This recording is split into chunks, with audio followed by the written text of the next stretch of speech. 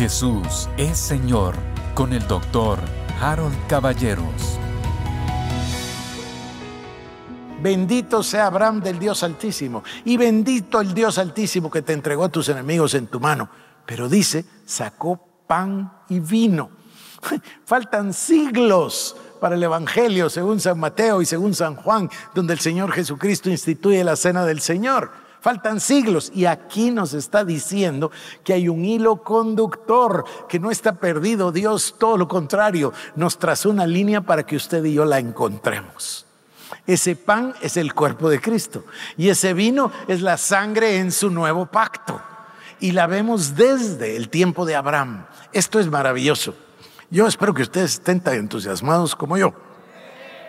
Y si están, notifíquenle a sus rostros. Génesis 22, versículo 1 al 13. Aconteció después de estas cosas que probó Dios a Abraham. Fíjense ustedes el plan de Dios. Miren, espero que ustedes se den cuenta de cómo Dios viene conduciendo su revelación para dárnosla. Miren el amor de Dios. Capítulo 22, verso 1. Aconteció después de estas cosas que probó Dios a Abraham y le dijo a Abraham, y él respondió, heme aquí Toma ahora tu hijo, tu único Isaac, a quien amas, y vete al tierra de Moriah. Ojo, se dan cuenta, Moriah, Moriah es donde murió Cristo. Moriah es el monte de la calavera, es el mismo monte. O sea, miren cómo Dios tiene todo previsto perfecto. Y le dice, vete a la tierra de Moriah y ofrécelo ahí en holocausto sobre uno de los montes que yo te diré. Y Abraham se levantó muy de mañana y enalbardó su asno y tomó consigo dos siervos suyos y a Isaac su hijo y cortó leña para el holocausto y se levantó y fue al lugar que Dios le dijo. Al tercer día alzó Abraham sus ojos y vio el lugar de lejos. Entonces le dijo a los siervos, esperad aquí con el asno y yo y el muchacho iremos hasta ahí adoraremos y volveremos a vosotros. Y tomó Abraham la leña del holocausto y lo puso sobre Isaac su hijo, y él tomó en su mano el fuego y el cuchillo, y fueron ambos juntos. Entonces habló Isaac a Abraham, su padre, y dijo, Padre mío. Él respondió, heme aquí, mi hijo. Y él dijo, he aquí el fuego y la leña, mas ¿de dónde está el cordero para el holocausto? Y respondiendo Abraham, Dios se proveerá de cordero para el holocausto, hijo mío. Fíjense ustedes, miren acá todo lo que hay. Número uno, Dios sabe que este hijo es un hijo sobrenatural, un hijo de la promesa. Si ustedes lo piensan que Dios quería sacar un pueblo a través de Abraham, pues el primer judío es Isaac, no es Abraham. Abraham venía de Ur de los caldeos y Dios saca de los lomos de Abraham y de Sara, saca a Isaac. Y ahora va a dar el ejemplo, el símbolo, el tipo, para que nosotros lo veamos, que tiene que dar a su propio hijo y que el sacrificio implica muerte y que el sacrificio implica derramamiento de sangre. Y prueba a Abraham. Abraham, tráeme a tu hijo, tu único, Isaac. Y Abraham lo lleva. Abraham lo lleva porque le creyó a Dios, ¿se recuerdan? Y le fue contado por justicia. Y ahora le vuelve a creer a Dios y nos demuestra que es un hombre de fe porque dice, Dios se proveerá cordero para el sacrificio. ¿Por qué? Porque Dios se proveerá cordero para el sacrificio. Y porque Dios se proveyó cordero para el sacrificio. Y hubo cordero para el sacrificio y por eso estamos acá. Pero ya Dios lo estaba preanunciando. Ya venía el Señor revelándolo a su pueblo. Queridos hermanos, la, la enseñanza más importante que Dios nos ha dado en todos estos años es comprender la Biblia comprender que toda la Biblia apunta al Mesías y que todo el Nuevo Testamento es la vida del Mesías, las enseñanzas del Mesías y luego la entrada a la, próxima eternidad. Si comprendemos esa unidad, vamos a entender la palabra y vamos a interpretarla correctamente en lugar de tomarla fuera de contexto. Vamos. Dijo entonces, eh, Dios proveerá de cordero para el holocausto, hijo mío iban juntos. Y cuando llegaron al lugar que Dios le había dicho, edificó ahí Abraham un altar y, compuso la leña y ató a Isaac su hijo y lo puso sobre el altar, sobre la leña. Y extendió Abraham su mano y tomó el cuchillo para degollar a su hijo. Entonces el ángel de Jehová le dio voces desde el cielo y dijo, Abraham, Abraham. Y él respondió, aquí. Y dijo, no extiendas tu mano sobre el muchacho ni le hagas nada, porque yo conozco que temes a Dios. No, no dice así, dice, porque ya conozco que temes a Dios, por cuanto no me rehusaste tu hijo, tu único. Entonces alzó Abraham sus ojos y miró, y aquí a sus espaldas un carnero trabado en un zarzal por sus cuernos. Y fue Abraham y tomó el carnero y lo ofreció en holocausto en lugar de su hijo. Ahora escuchen esto, es profundísimo. Dios está revelando que para salvar de la muerte al hijo, tiene que haber otro sacrificio un sacrificio sustitutivo. ¿Quién va a poner el sacrificio? Dios va a poner el sacrificio. Es su Hijo, es el Dios hombre, viniendo a la tierra, dejando su gloria, tomando forma de siervo, humillándose hasta la muerte y muerte de cruz. El Señor ya tenía el cordero para el sacrificio. Pero la enseñanza profunda aquí es que iba a morir Isaac.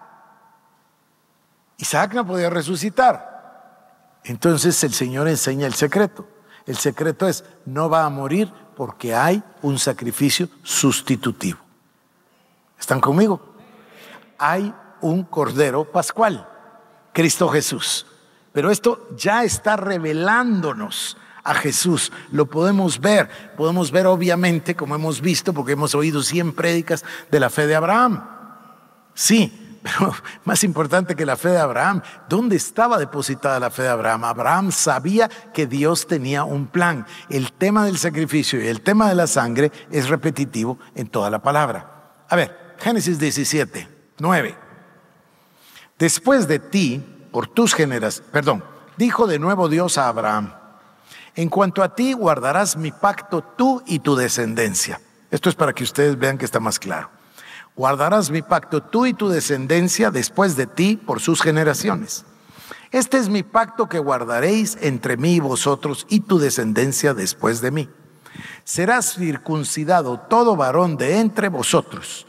Circuncidaréis pues la carne de vuestro prepucio y será por señal del pacto entre mí y vosotros. Y de edad de ocho días será circuncidado todo varón entre vosotros por vuestras generaciones, el nacido en casa y el comprado por dinero cualquier extranjero que no fuere de tu linaje Debe ser circuncidado el nacido en tu casa y el comprado por tu dinero.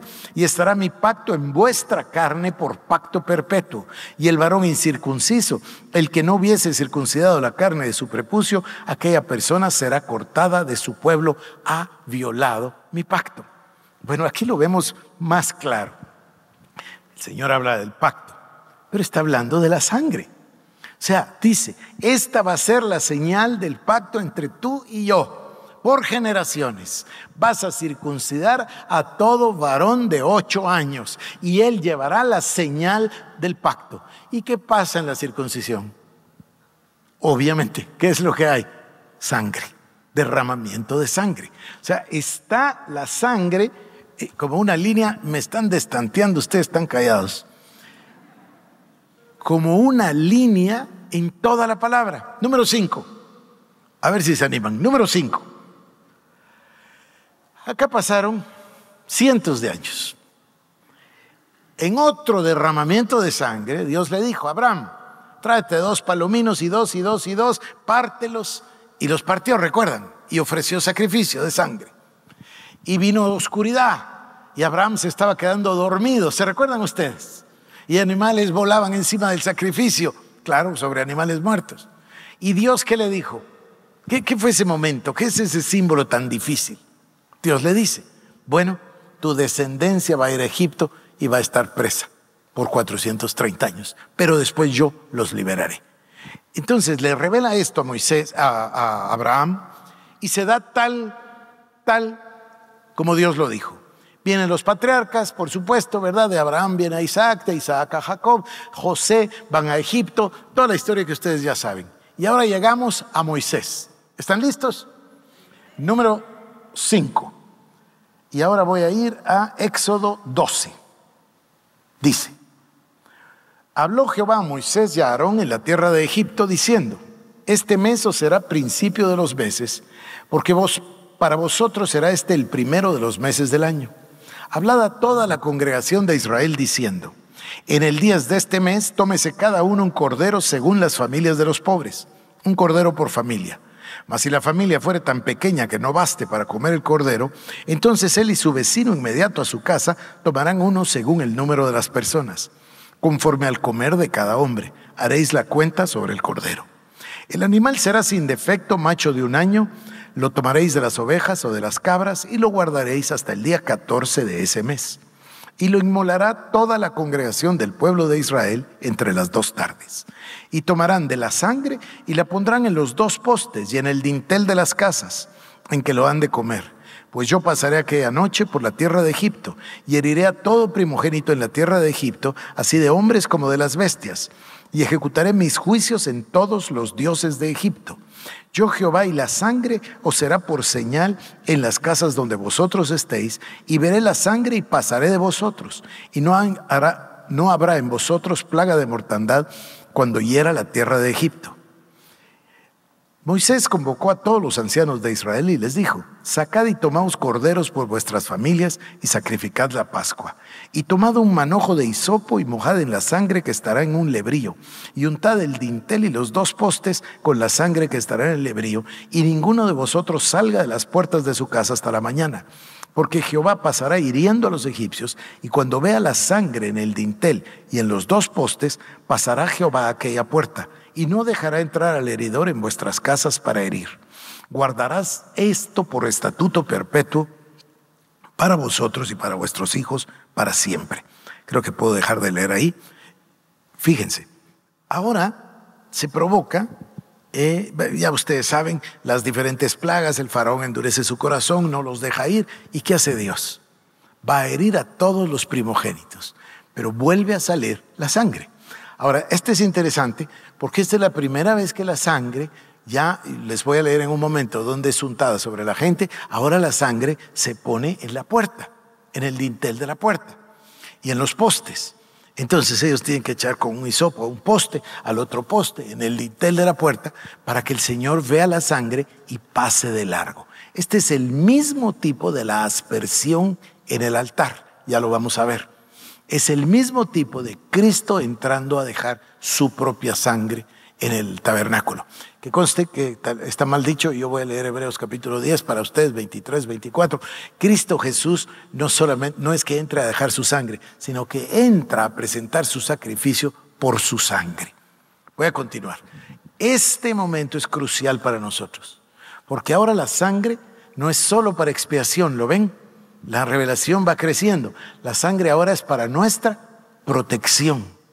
El pecado es una afrenta contra Dios. La concupiscencia produce el pecado y el pecado da a luz la muerte. Entonces nosotros no tendríamos más remedio que la muerte. No existiría otra manera. Pero Dios usa la sangre y esa sangre la usa en expiación por nosotros. La sangre es el método de la redención. La redención quiere decir rescatar. La palabra redimir es una palabra que quiere decir o habla del rescate de un esclavo. Estábamos esclavos del diablo, esclavos de la muerte, esclavos del poder de las tinieblas, esclavos de la carne, y vino Cristo y nos redimió, no con cosas perecederas como oro y plata, dice Pedro, sino con la preciosa sangre de Cristo. Este concepto, este concepto tiene que ir penetrando en nuestros corazones, es inmenso. Entonces, ahora vemos la sangre, pero la vemos en otra capacidad, ahí con Moisés. Déjenme que avance, ¿dónde voy? En el número 5. Bueno, Hebreos capítulo 11, 28. Miren, harían muy bien en leer la carta de los Hebreos. Harían muy bien. Y si no pueden leerla toda, por lo menos lean la segunda mitad. Porque la carta de los Hebreos nos devela que todas estas cosas que fueron símbolos, que fueron tipos, son ahora reales en la carta de los Hebreos a través de Cristo. Quizás ahí es donde más vamos a encontrar nosotros de la obra redentora de Cristo en esos tres días y tres noches. Voy a leerlo, Hebreos 11, 28.